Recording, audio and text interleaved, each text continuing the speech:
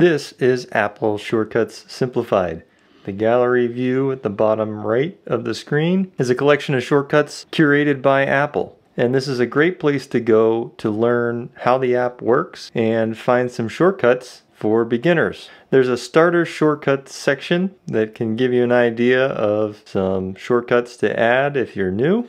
The cool thing about shortcuts is you can give voice commands to them. So a lot of these will work triggered via Siri and you will not even have to open the app to run them.